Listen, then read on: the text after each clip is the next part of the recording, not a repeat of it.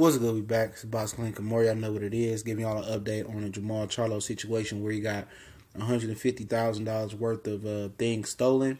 It was 50 grand in uh, in cash and 115 in jewelry in the bag. I get Louis Vuitton bag. Um, I linked this article in the description so you know this true. You know, he tweeted out fake news. Obviously, it wasn't fake news. It was real news.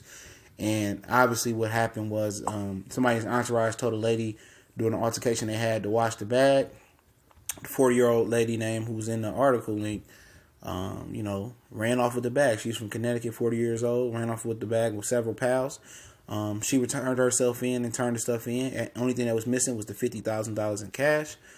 And, um, you know, you know, it is what it is. You know, she turned herself in and took the blame for it. She did run off with the bag, and her girls left with her, but she took the bag. You know, she was told to wash the bag, and whoever that person was in the entourage, unless we personally knew that lady, uh, he won't be rolling my entourage no more. He cost me fifty grand at least, and probably more money with him traveling with me. Charlo, you know, is an idiot for carrying around all that cash and money in the city. Period. That's his or not his. Um, New York City is a big, big city, and um, hopefully this is a lesson learned from him.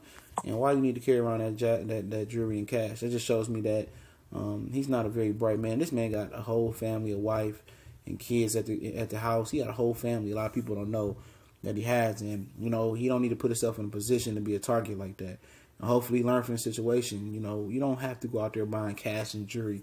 I mean, having jewelry and having all that flamboyant stuff, especially in a business where one punch can, you know, in your career. And then, you know, he said he got investments, but then what do you have to fall back on after that? You feel me? So you need to be putting that money up, man and just investing into real estate and saving it until you know he really hit that that point where he he, he really touching a lot of millions, five, ten million a fight at least, and you know, or five million at least, and then ten million a fight, like somewhere in there. Um, you know, but you know, it is what it is. You know, it was a mistake. A lot of the young guys do it. Adrian Broner does it all the time, flushing money, burning money. Um, you know, you, you know, these guys need to learn. You know, um, you know, just because you got it, don't mean you got to flaunt it, and you made yourself a target in somebody else's city. I understand New York is one of the safest cities, a lot of police around, and but still, anything can happen. And on this night, something did happen, you know. But like I said, the lady turned herself in. She's 40 years old from Connecticut. You know, 40. She seen an opportunity, ran off on the back, and uh, maybe she didn't think the club cameras recorded, but they did. Some cameras don't record or don't go back so far, but they got her. And I wonder what you know, what you know, what they gonna do. I wonder if Charlo gonna press charges or what is you know what is this you know situation about? And does he personally know her? Because they must personally know her if somebody's entourage handed her the bag.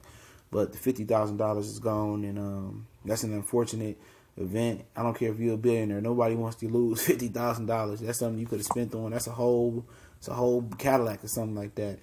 And um, you know, he tweeted out fake news and tried to you know roll roll roll with the punches. But at the end of the day, you know, this punch, this counter punch got straight in on him and it wasn't fake news. You did something stupid, and um, my whole family know you did something stupid, and you know, stop doing that. Stop bringing all that money out for what? What did you got all that money for? And what do you got all them people around you for?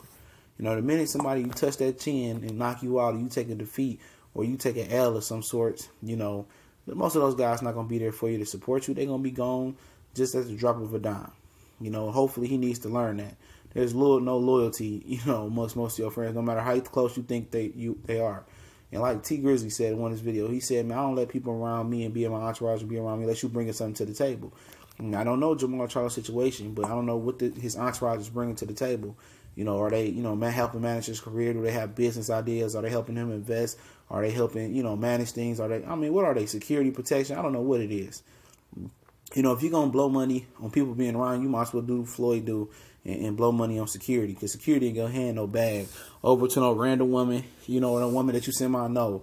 You know, that was the idiot thing. So if you're gonna blow money and fly niggas in and out of town and, and carrying the entourage with you, you might as well blow it on some security entourage, some security that got some experience with protecting the bag and um, protecting your interests and stuff of that nature. But at the end of the day, you know, um, it's a lesson learned, and uh, hopefully Charlo um, don't do no dumb shit like that no more. You know, don't bring all that jewelry and money. I'll just have you a debit card, you know. Soon enough, if you keep making noise, you keep fighting and beating people and moving up the ranks, people gonna know who you are. You ain't gotta flaunt jewelry and cash for people to be attractive to you. You know, some people just go out looking for fame, you know, And if they put just as much energy as they go out trying to look famous and trying to be famous and look like somebody into being being rich and dedicating themselves to their craft, you know, the the, the fame will come with with the, with the money. You know, the the fame will come with the clout. That's part of the territory.